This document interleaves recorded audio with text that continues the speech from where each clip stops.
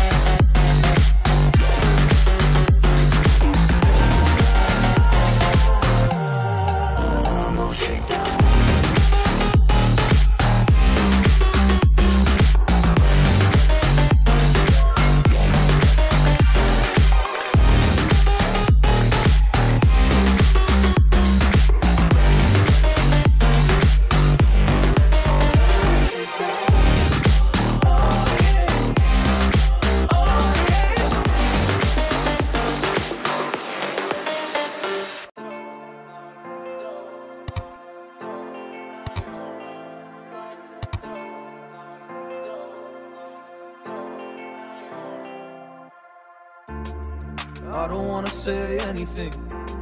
Cause if I do, I might say the wrong words. Oh no. So I'll keep my mouth shut and not listen. I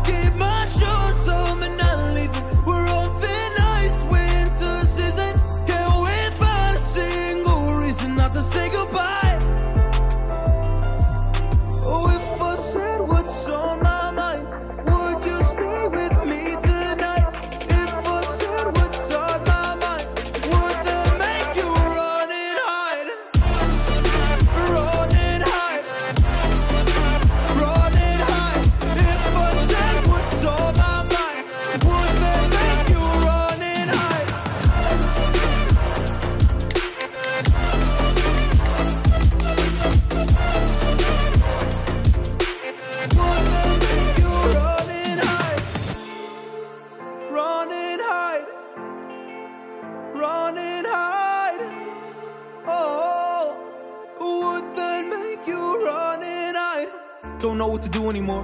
I'm out of options, nothing's working. I'm out of service. Come help me now, I'm fucking nervous. I'm trying but can't scratch the surface. So I'll keep my mouth shut and not listen. Afraid I